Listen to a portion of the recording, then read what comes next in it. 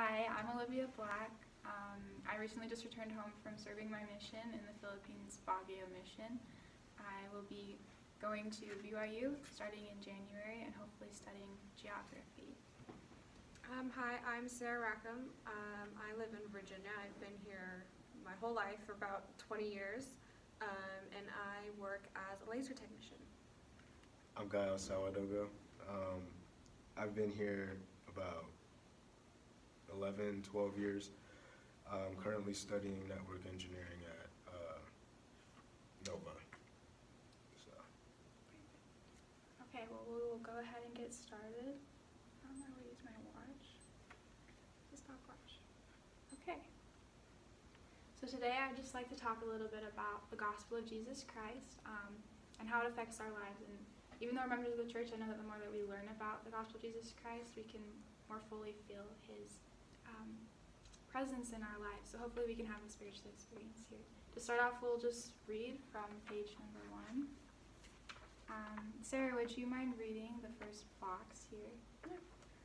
You can live the gospel of Jesus Christ by developing faith in Jesus Christ, repenting, being baptized, and receiving the Holy Ghost, enduring to the, to the end. Thank you. So those are the first um, five principles of the gospel of Jesus Christ, and I know that we've all had faith in Christ, at least enough to repent and be baptized and become confirmed to become members of the Church of Jesus Christ of Latter-day Saints. Let's continue to read. Gael, would you read the last paragraph here, starting at after? after you learn and follow the first principles and ordinances of the gospel, you seek to follow Christ's example throughout the remainder of your life. This continued faithfulness is called enduring to the end.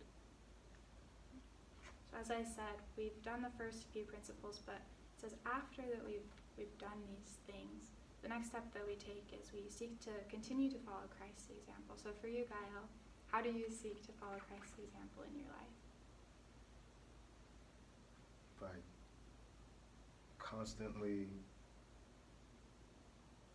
asserting my place in life. So whether that be where my parents need me to be or where uh, society needs me to be, that's a good place to start, I think. Mm-hmm. And how do you know where you need to be in your life at this moment?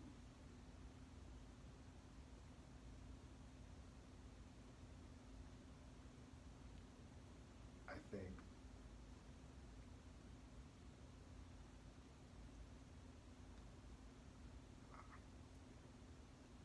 I think uh,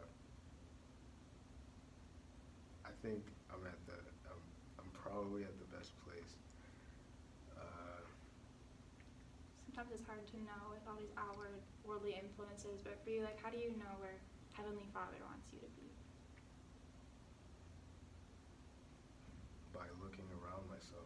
Um, my parents, they love where I'm at, whether that be mentally or uh, religiously or, you know, even in, uh, in the things that I'm doing. So, So you can tell by your family. yeah.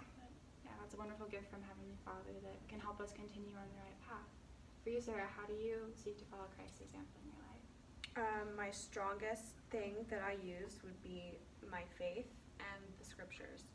Um, growing up, my dad always had us read family scriptures, and coming from a two faith family, it's been very difficult to know as a child what's going on. So we had scripture study with my dad, and there were certain scriptures in the Book of Mormon that just really stood out to me, and I was like, wow, I so know where I'm supposed to be, and this is the right church. And I continue to use my faith to strive on that straight and narrow path. And um, we were always, he always asked us questions. He was like, well, Sarah, um, what would Jesus do in your situation? What would he do? And so that question always ponders, it's always in the back of my mind on replay. Like, is this something that Jesus would do? If he were standing in front of me, would I be doing this if he were in front of me? So I always kind of use those thoughts to think about my actions and to think if I am where I want to be. Mm, That's wonderful. Thank you so much for sharing that. Um, we'll go ahead and turn to page 14 in the pamphlet. We'll read a section here about enduring to the end. And I love how you use the straight and narrow path. Like, how do we continue on that? So we're in the stage of enduring to the end. So before we read this paragraph, um, I want you to be thinking about the blessings that are promised um, in this section of the pamphlet. So if you can notice those things as we read it. Gael, could you read out the second paragraph, enduring to the end? Enduring to the end brings direction, peace, and happiness to your life. You will feel the joy of trying to become more like Jesus Christ as you serve and help those around you. You will better understand your relationship with your Father in heaven and feel His per- perfect love for you. You will feel hope and a sense of purpose in an often unhappy and troubled world. Thanks. So, what's maybe a blessing that stuck out to you here that you read? Hope and a sense of purpose.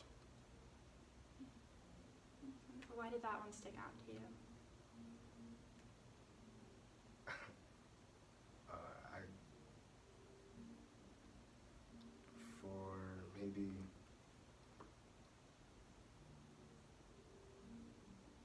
with an exception of the last five months or so, uh, I've probably been through some of um, the most difficult things uh, in my life, actually, and I it was to the point to where I didn't think I had a purpose. So I kind of understand what it is to not have a sense of purpose, to not to not feel like you know you belong anywhere. So So that's a wonderful blessing that we can have. You've seen the contrast in your life what it means to have the gospel of Jesus Christ and that hope and joy that you receive from it versus not having it. absolutely. What about for you, Sarah? What? Um, just in the first sentence, just the word peace. Peace is just such a strong, overwhelming feeling. And I think when we are so caught up in all the worldly stuff going around us, we don't have the opportunity to really feel the peace that the gospel brings us. So I think a lot of the times people overlook that, but when you really sit down and you listen to a talk in sacrament meeting, or you listen to um, someone bearing their testimony, you really have the chance to feel that peace and to feel what that means to you. I love that. Um, how do you think that we can kind of drown out those worldly, those worldly things that kind of take over our peace that we have? Um, well, for me, I am an avid overthinker, so I tend to overthink anything and everything possible. So I just have to remember in that moment what's the most important thing. So when you're in church, is the most important thing what's maybe going on on the internet with some celebrity, or is it what you are feeling in during someone's testimony or during someone's talk? So you have to consider and weigh your and not weigh your options, but per se, but you have to really think what is the most important thing. And when you're in church, one of the most important things, if not the most important, is to feel the Spirit and to be connected to Heavenly Father and to Jesus Christ, since we are in the house of the Lord. Yeah, Heavenly Father is always giving us opportunities to feel the Spirit, and sometimes it's really just up to us to take those opportunities and really like apply to ourselves. So let's read in the Book of Mormon because it explains much better than I can what are other things that we can do to receive these blessings in our lives. So we'll go to Alma 37, verse 6. So attaining those those promised blessings that we read can seem like a big a big task. But verse 6 here kind of breaks it down a little bit for us. Sarah, would you mind reading Mhm. verse 6?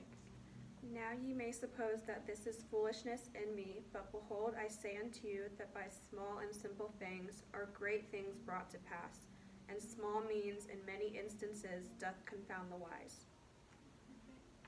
So small, simple things can um, bring to pass the greatest miracles. So I want you guys to think for just a second, maybe 10 seconds, about a trial that you have in your life.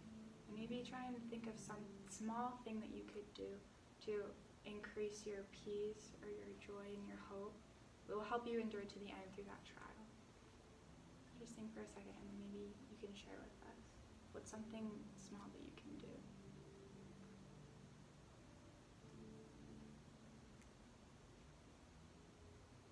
I'm currently studying, and uh,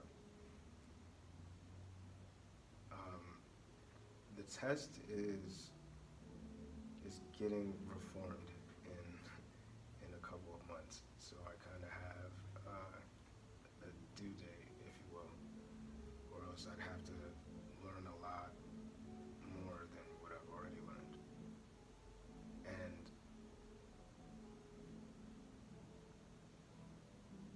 I'm constantly learning new things and I'm aware of that. So, what I haven't done material. So, what I what I was planning to do is, uh, while I'm taking practice tests and things like that, like I go and outline the specific places I need for. Um, I need to, you know, uh, focus on more. So that's that's something I haven't gotten into yet, but that's what I was planning to do like tomorrow. Focus on smaller things in your study. Yeah. hmm And I, I like how you're kind of applying the scriptures to something in your day to day life, um, which is school study. You know, like what you're learning here can really apply there. Um, and maybe you could do the same thing in your scripture study. Yeah, I, I read every day. Yeah, so continue that, and um, maybe something you could set is just to read before you study. Um, just remind yourself of that goal that you have to focus on this smaller things. So, Absolutely. For? Um, for me, it's probably a bigger trial that's been weighing on me for a long time. But it's for me is how to deal exactly with death. And so I had a friend of mine, 19, passed away suddenly a few months ago, and I just did not deal with it well. So I have a hard time dealing with death. And you know, as kids, we're always taught in the church about the plan of salvation, so we ultimately know the outcome but it's those steps in between that you that I struggle to deal with because I just feel like it's all around me that everyone that I know just dies. But I know that's not the truth because I know ultimately God has a plan and I struggle and I guess I overlook it in a way. So I just need to study the plan of salvation more carefully and really take into account the blessings that it gives me. I love that. That's really awesome. Study the plan of salvation more. So, what is something that you can maybe do this week to to apply? Um, probably for one, I get so wrapped up in my life that I often don't study the scriptures as much as I should, or I don't pray as much as I should. So trying to do that even at work, if I'm not with somebody, I can just pull it up on my phone, pull it up on the computer, and just take a minute so I can really feel that peacefulness, because I know that that will come anytime, no matter where I am, if I read the scriptures. That. So, will you do that this week? Just Yes. will you do that as well, Gael? Yes, I need to pray more. Awesome. I know that you'll be blessed as you um, continue to do that, and that you'll see that hope and that change as you endure through these trials. Say this name, Jesus Christ.